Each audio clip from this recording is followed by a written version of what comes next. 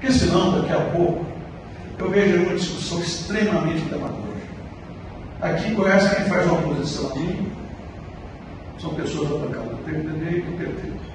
Mas nos estados onde os governos são do PT e do PT, estão tendo que fazer coisas muito mais agressivas. Até porque não fizeram antes. É, e aí, olha, o meu voto de governar, não sei o quê, e agora está a nós aqui. Não tem nada disso.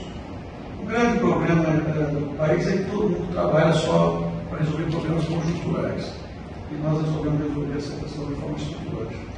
Porque imagina daqui ao tempo que eu não vou ser mais governador, e o governo falar, posso pagar mais os especialistas aposentados, vou atrasar um mês, vou atrasar dois. Está acontecendo.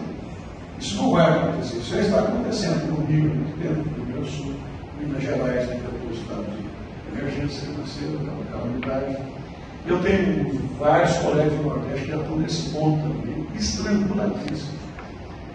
É, então, entre ficar cuidando do conjuntural, do, da crise monetária, eu resolvi tomar uma medida para a gente ter mais tranquilidade aqui para frente.